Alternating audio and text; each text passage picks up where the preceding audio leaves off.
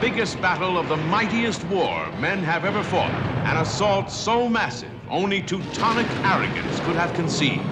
Right down to a clock to tick off the 50 hours of Nazi hell.